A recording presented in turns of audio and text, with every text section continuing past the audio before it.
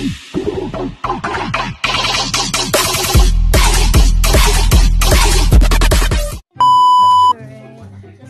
guys! Good afternoon na po dito sa Davao. dito po may background ako dito mga chichirya tsaka yung may merong matabang tao. Oy, ingon daw siya, videohi ko. Nagbuli. Nagbuli daw ko. Nagbuli boy. Mamaya na Mana ka, mana mag- ka. Sa- Para niya na po ko mag, mag-upload og video. So, for today's video guys, sorry sa mga interruption. for today's video, ito po, napagtripan namin ng sister ko. Ito daw, i- ano ko to, share daw tong ano, sa vlog ko. Isang set na,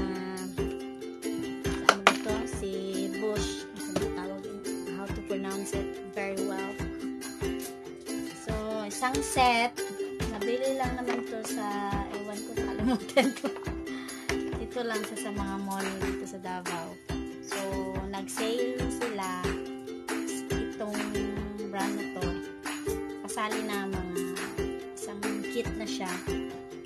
Merong mga so, ganit nga na. Ay, nalabi yun. Nahulog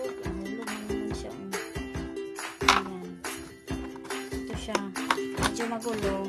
Kasi ginamit ko yung father. Uh, nag-repair siya ano namin. Ayos na wiring kuryente. Parang sa lagayan na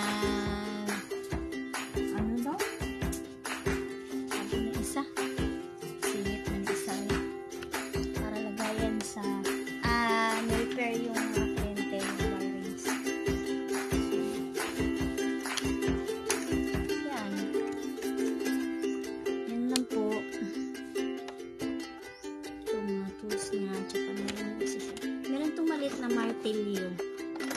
Hammer ba? Ito yung keys niya. Ayan. Sa'yo mo, Gar. Balik lang po ako. sunod. A few moments later. Hey,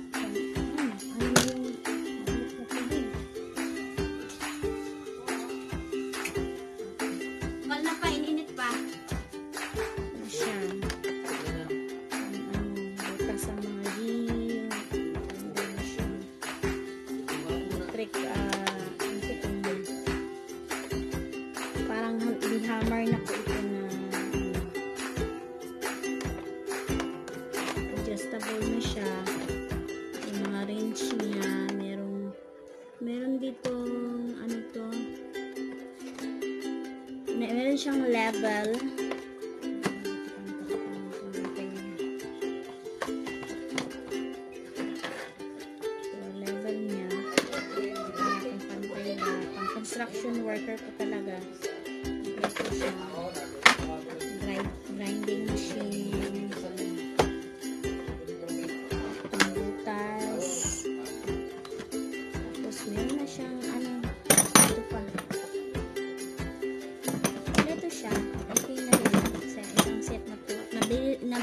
lang po ito. Pinakamurang halaga. Dahil ah, dahil ano po to dahil da- bakit po siya mura? Kasi ah, meron na po siyang mga kalawang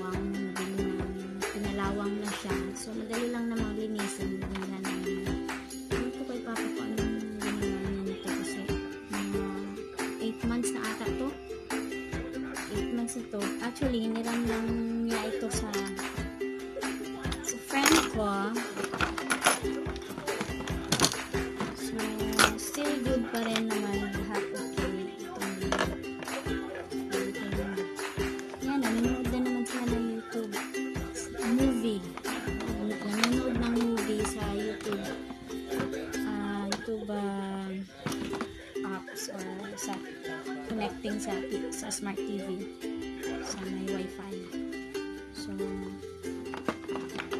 wifi connection na nanood nila. So ayan meron siyang cutter. Meron din siya itong ah, tape tape measure.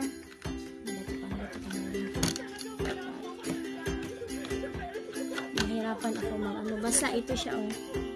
Ito. Tapos ito yung maano niya yung function niya adjustable na ano na andyan na lahat. Ito din ito nagamit na to ni Papa kaya natipid siya. Na nabili ko lang to sa murang halaga mga 2,000 plus na lang kasi nag-sale sila ng 50% kalahati. Pero talagang mahal daw talaga to.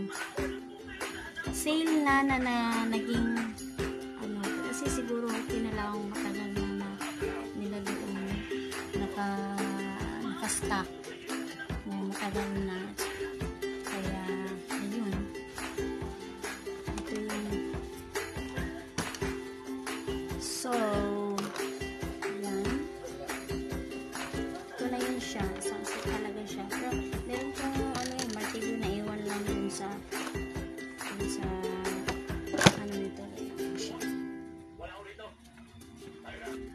Ayan dalhin mo lang mura na talaga to kasi kadalasan sa mga mga grinder uh, grinding machine or mga ano tawag ba nito?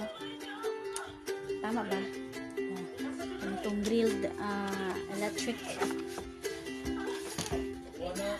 So yan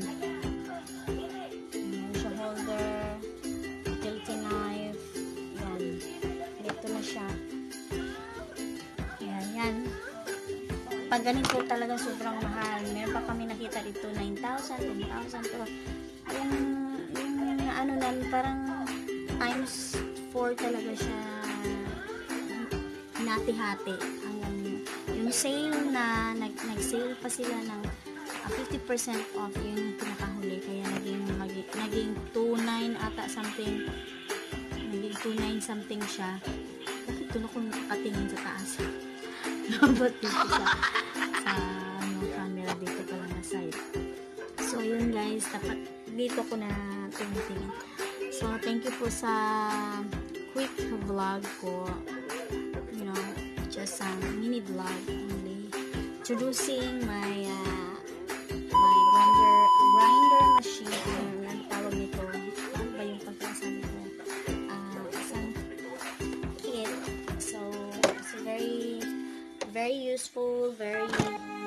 easy to bring. Paano na siya, accessible and adjustable. Ano pa ba mga table o mga bowl niya. So, yun. Ah, kami! See po, thank you po sa panood. Ah, titibli pa ako ng kape nila. Ayan, hapon po sa lahat. 4 o'clock in the afternoon na po dito. Thanks for watching, guys.